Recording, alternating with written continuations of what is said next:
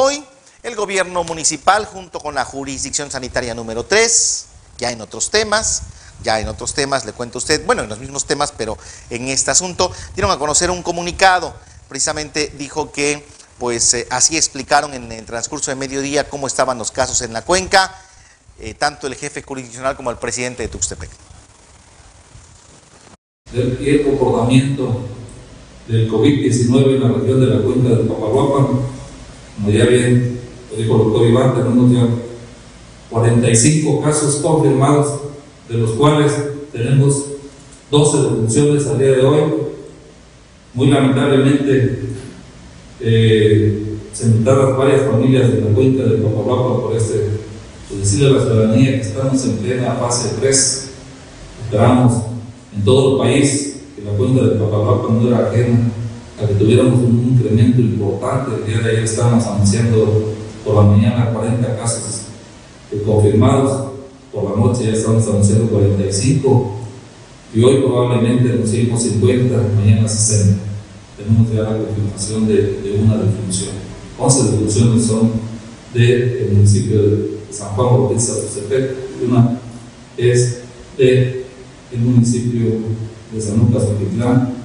Tenemos también una defunción del municipio de Temazcal, que ya habíamos dado a conocer.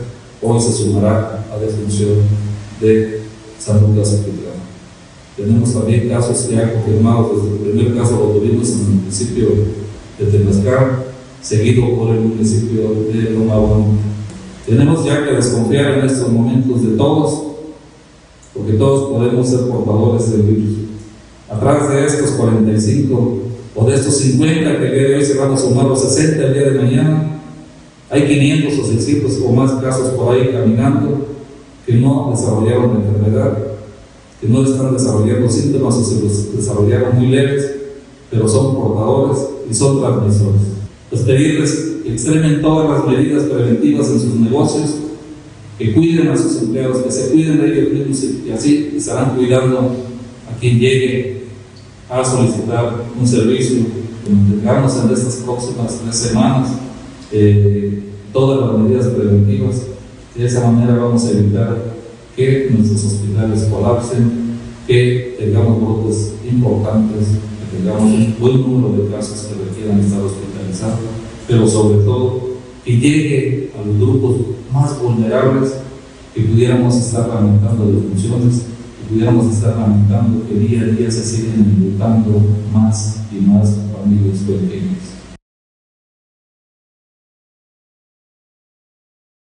Enviaron hoy este comunicado precisamente los servicios de salud de Oaxaca.